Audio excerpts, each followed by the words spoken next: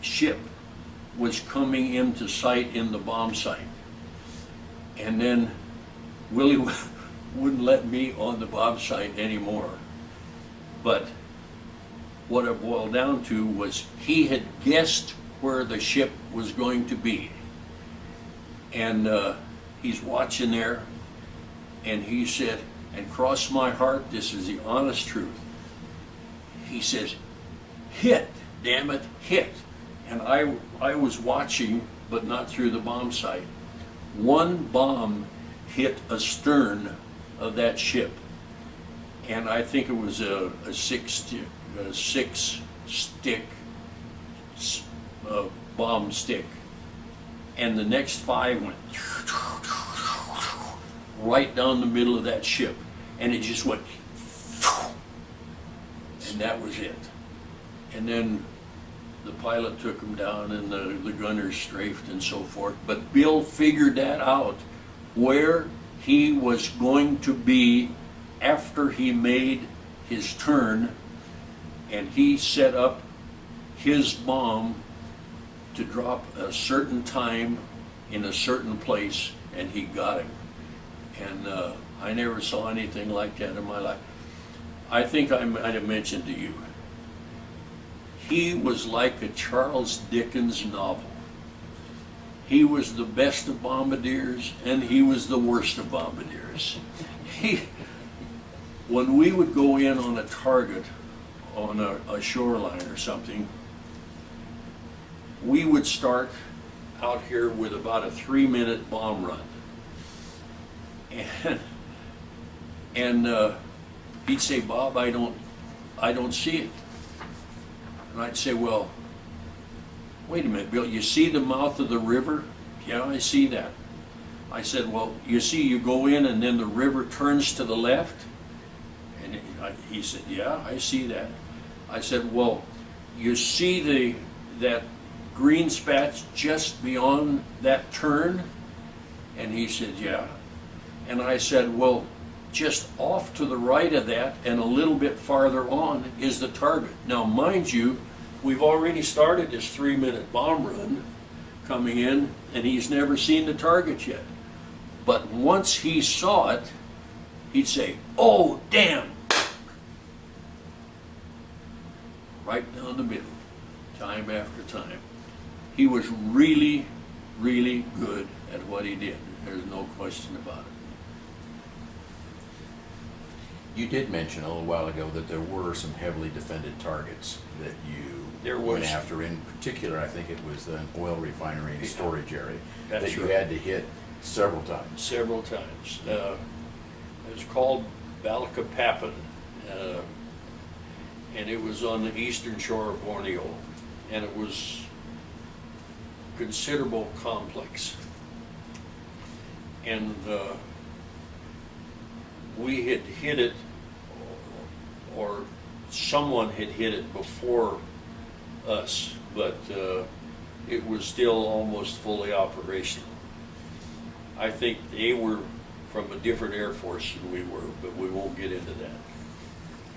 So we went and uh, we hit it, and uh, it was relatively heavily defended by flak. Remember, there were no fighters anywhere around here, and uh,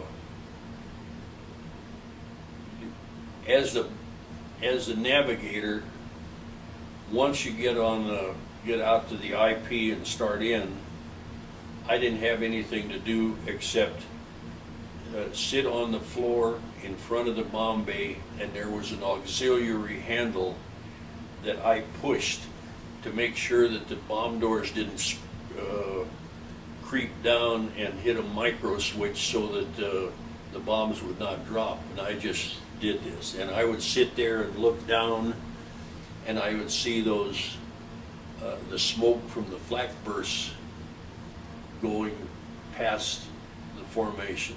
And of course, uh, if they're going by very slowly, that means that they're quite a, quite a ways below us, but when they got closer and closer, uh, that was not too good. Now, we never, ever, to the best of my knowledge, got hit. Uh, We may have, because I heard flak tinkling off the side of the airplane occasionally, but as far as getting That's pretty close, isn't it, when it's tinkling off the side of Yeah, the plane? It's close, but as far as being hit, being close enough for it, where it exploded and did major damage to our aircraft, that never happened. But I'll tell you, uh, when we would fly these missions maybe every other day for a couple or three days, when they announced the target, there were many moans go up among the crews, but uh, we you know, we're there and uh, that's what we're supposed to do. Now, you had asked me about uh, colored flak. I had heard of colored flak. Sometimes ships came in, uh, you know, cruisers or light cruisers would come into the harbor and they would add their anti-aircraft fire to the Army's anti-aircraft fire. Never when they were there did they fire colored flak at us. I have heard other crews talk about having colored flak because uh, that shows which ship is going high and which is going low and they can identify it. We had ships fire at us, but never with colored flak. Uh, and like I say, and the, I remember the only real uh, bomb run that I remember. Now, I, I had seen a lot of buildings hit and explode and, and so forth, but the one that I remember, we dropped some what they call fragmentation bombs, which are just little bitty bombs, but there's a whole passel of them. And uh, it, the, the string started before it hit this oil tanker, and it just tinkle, tinkle, tinkle, tinkle, tinkle, tinkle, tinkle across there. And just all of a sudden, that tanker or that tank exploded. It just looked like you took a can opener and cut the top of it off. And I still remember it coming up like this and then just falling off of the flames. And uh, we could see that fire from 50 miles away when we left. Okay, one other story about Balikpapan, and I've already told you this, Dave. One day, our pilot was flying with a new crew, and a lieutenant colonel from the 15th Air Force flew as aircraft commander with our crew. And we were, well, out of the 39 missions we flew, we flew 25 leads. And we came in, we made the bomb run, we had bombed Balikpapan, and the normal procedure when we were leading the squadron was as soon as the bombs were dropped, they would just take the formation and turn it and get it back out of the water and out of harm's way. This day, with the colonel flying, we had dropped our bombs and we just kept going straight and straight and level, straight and level. And it seemed like forever. Now, it wasn't forever, but, and it may not even have been five minutes, but it seemed like an eternity to me. And finally, I got on the interphone and I said, well, let's get the hell out of here. And uh, so he turned the formation. We got out of the flak and we got out over the water. And just as we were approaching the water, he says, Who said that? Silence throughout the airplane. Who said that? Not a word from anybody. And then I had to go up to give him a hitting to get back home. And I went up, I said, here's the hitting home, sir. Thank you. I said, did you ask who said that? Yes. I said, that was me, sir. He said, just what do you mean telling me how to fly this airplane? And this was nothing in the 15th Air Force. We used to go through this hour after hour and blah, blah, blah. And he chewed me, seemed like halfway home, but it was probably just about 10 minutes, telling me that I had no business sounding off. He was not in, I was not in control of the aircraft. I wasn't responsible for the aircraft or the crew. Yep, yep, yep, yep, yep. And I'm just saying, yes, sir, yes, sir, yes, sir, yes, sir. And uh, finally said, that's all. And I went back and sat down. And uh, my seat was behind the co-pilot. And the radio operator's seat was right across the aisle. It was only about 18 inches wide. And he leaned across and he says, Lieutenant, we all thought the same thing, but you're the only one that said anything. So I figured, okay, if, if the crew, if the crew felt that way, I didn't really lose any skin with the colonel. But, uh, Now, there were, you also mentioned, I think, that there were some, uh, some missions that were flown effectively as close air support for some invasions. yeah, yes, Walk us through a little bit of that. okay. Well, before I do that, I would like to tell you this one last hairy tale, and then we will be easy. Like I say, we had sunk this one ship, and uh, we were feeling pretty good. And a couple days later, we went out, and boy, we found another ship, and we thought, boy, we're we got him. And uh, we turned and started in on a bomb run on that ship. And all of a sudden, here there is fire coming from that ship at us. And those tracers were going past us, and this was a great surprise because those uh, supply ships and troop ships didn't have that kind of weapons. And uh, one of them hit us and ruptured a fuel tank. Boy, there was fuel all over the airplane. And of course, fuel is the lifeblood when you're flying long missions out over water. So immediately, the, uh, the engineer got busy transferring fuel out of the tank that had been hit into the other tanks that were intact. And finally, he salvaged all the fuel that was in the tanks and put it in the others.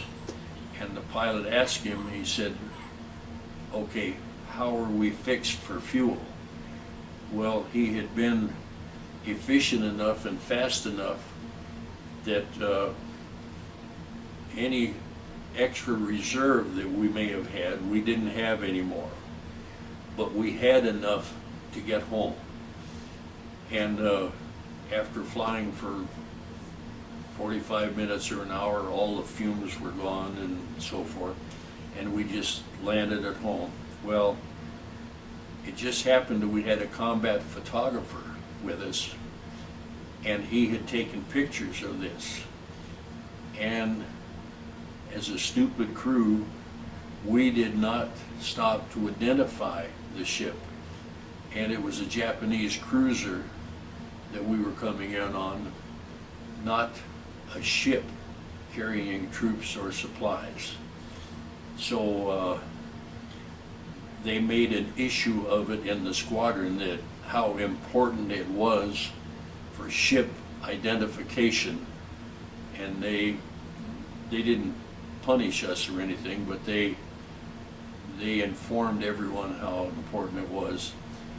And last, or late that night, we were playing poker, and the line chief came to us, and he says, uh, uh, he identified our crew, and he said, "Do you know what this is?" And he held up a projectile about that big and about that big around. We said no. He says, "That's a 20 millimeter incendiary shell." He said, "And I just took that out of your ruptured tank, but it malfunctioned and did not explode." And you can't tell me that God didn't have a hand in that because, uh, you know, had it exploded, we'd all been dead. But uh, that is the only, only really close encounter that we had in that entire 39 missions. And uh, I just think the Lord was watching out for us, and that's why I say I had the easiest tour that anyone ever had. Uh, if one incident, one failed incident in 39 missions is all that happens, you're very blessed. Okay, about this covering invasions. Uh, we covered the invasions, as I recall, in Tarakan, in Sandakan, and Borneo. These were all, again, supply route stations for Japanese supplies. And these were not, excuse me, marine landings, but they were army landings.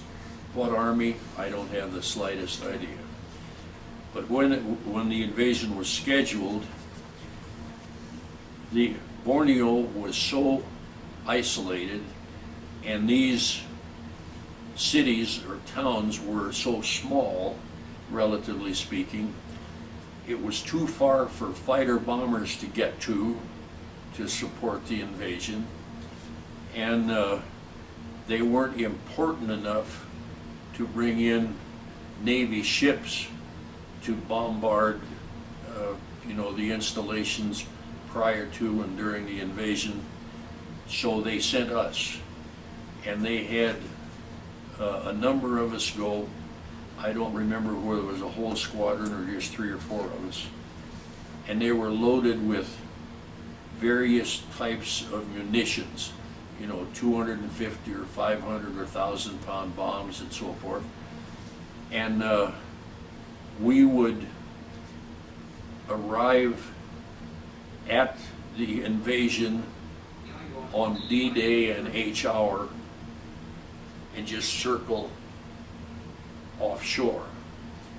And if they needed ground support, one of the commanders on the ground or prior to going in before they got on the ground, he would call and he would say, I need a thousand pounds on this coordinate.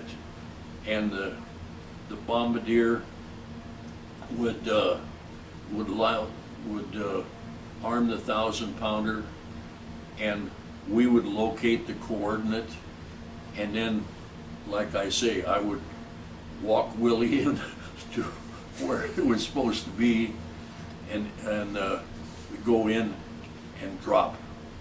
Uh, and, uh, then just the one or maybe two and then we would just go out and continue to circle, and they would call in for the ordnance they needed to support their invasion. And when we uh, arrived at a point where we had just enough fuel